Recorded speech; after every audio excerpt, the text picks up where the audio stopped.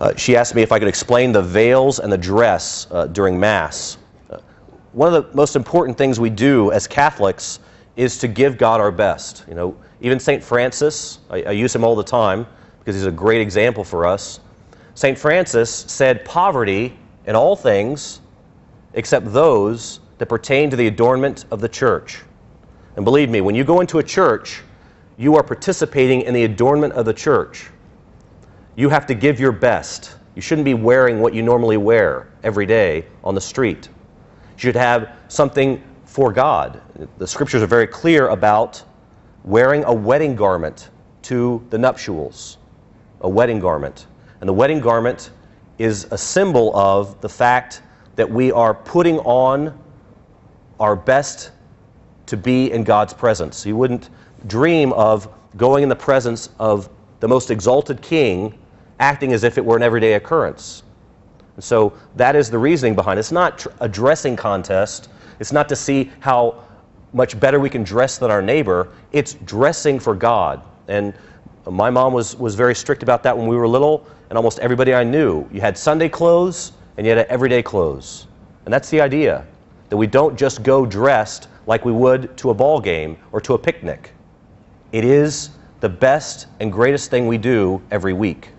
And the veil uh, for women is in, as the scriptures tell us, it is a sign of submission to authority.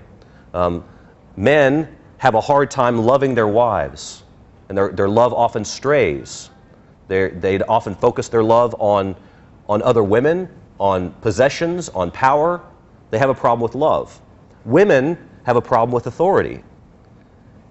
They don't like submitting to authority. They like to be in charge of the marriage. And so this is, this is a symbol that they are submitting themselves to Christ. They're submitting themselves to the authority of Christ, who is their husband. And this is something that, that we've gotten away from and that is very, very important, is also in, in deference to the angels. You know, we would never think that Mary would enter the temple without a head covering. And she is the, eh, she is the example par excellence for how women should act. She is also the, the par excellence for the example to Joseph and how men should act. So, as I often uh, jokingly and, and half seriously tell the Latin congregants, uh, women often have a, a problem wearing the veil, and men often have a problem just dressing up and looking nice. So, we both have to work on those things. Another question? Yes. Okay, the question is about women being in a subservient role back at the time of Mary and how we've moved beyond that. I would say that we can never look at something from a negative point of view. We can never look at a wrong in the past and try to justify it by our actions today. We, we have to look at, again, the example of Mary. Why did Mary submit to that? Because she was the most humble of women. Uh, why would God allow the scriptures to be written in a way to tell women to veil their heads? Unless that's what God wanted. So we have to be humble enough to accept the fullness of our faith, bar none. There are a lot of things as a priest I have to do that I don't like. A lot of things I'm asked to do as a priest, and out of, out of humility, out of obedience to the proper authority, who's my bishop, I do it.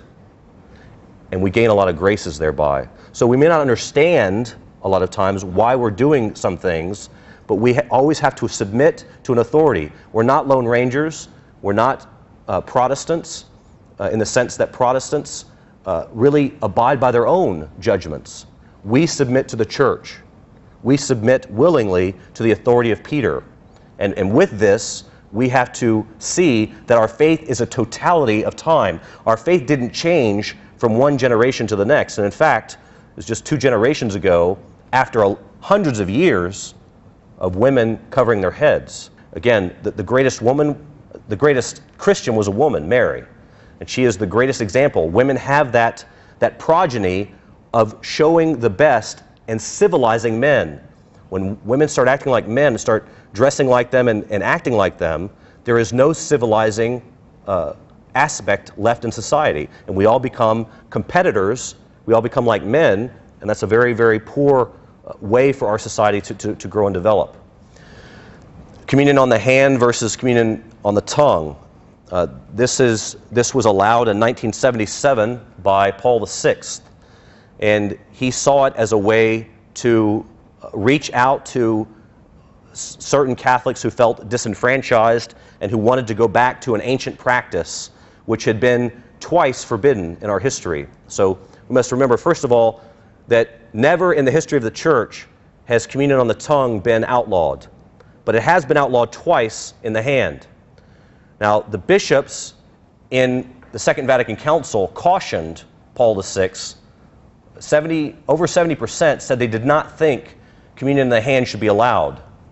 And the reason for this, they said there would be a lessening of belief in the real presence, there would be uh, more abuses, uh, and that there would be uh, less reverence during Mass. Well, we've seen, uh, we've seen our belief in the real presence go from about 80% of Catholics, and some people say it's down as low as 20 or 30% now, believing in the real presence. That's actually the body and blood of Christ, and not just a piece of bread, not just a symbol of his body and blood, but actually his body, blood, soul, and divinity.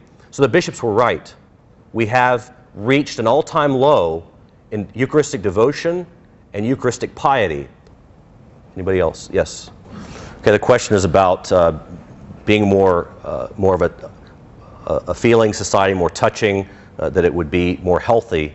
Um, I would say again that the, the evidence is strictly against that. The evidence is that what the bishops cautioned about in 1965 has happened. We're at an all time low for devotion and piety to the Eucharist. We have come to a, a period in, in time when we have forgotten that it's not just marching up in a cafeteria line to receive a french fry, it is going up to receive our Lord. And as I had, I think I've said this a couple of times in different sermons, I had a Muslim tell me one time if I believe what you believe, and that's really the Eucharist, there's no way I would walk up and receive him in my hand. I would go up on my face and receive him on my, on my knees. Now, there is a good tradition to suggest that a, there's a Middle Eastern tradition that the host, when you came to his house, would put the first morsel of bread on your tongue before a meal. Now, there's very good evidence that this happened at the Last Supper, that our Lord gave those men, even though they were bishops, he gave them communion on the tongue. Now, we don't know if they were kneeling, but it was definitely on the tongue. It's important for us to realize the vast majority of the church right now receives communion on the tongue.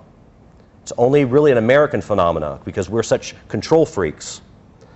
Um, when you are kneeling and you receive something on the tongue, it's very powerful psychologically. It's something that happens to you no other time, except when you were a baby, your mother feeding you. And, and we should be like children.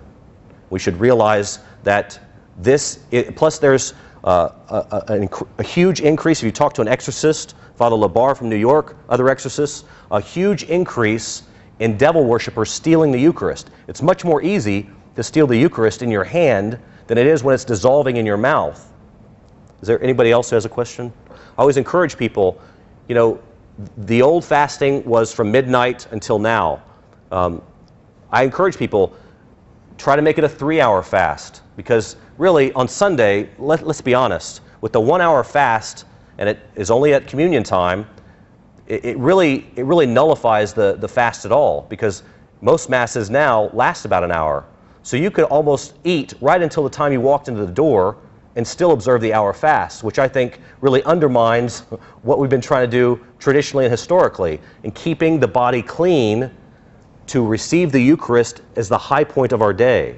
So uh, again, we cannot, man- as, as the traditional Mass, we cannot mandate something that is not mandated by Rome. We can only encourage people to observe the Ember Days, to observe the Old Fast, to observe the, the uh, abstinence, the, the, abstinence, for example, on Christmas Eve. Uh, many people used to abstain from meat on Christmas Eve and all the principal uh, Christian feasts. And, I, and I had a, a spiritual director of mine, Father Venantius, uh, who was ordained in the old rite, but of course was very much an adherent to, to the new Mass. He told me that one of the worst things the church did was get away from the Ember Days and the emphasis on penance. Because now we have all these incredible sins surrounding us, and our, our Catholics are not trained to be penitential and to go beyond the call of duty, so to speak, and do penance for these incredible uh, evils that need to be counterbalanced with penance. Do you have a question?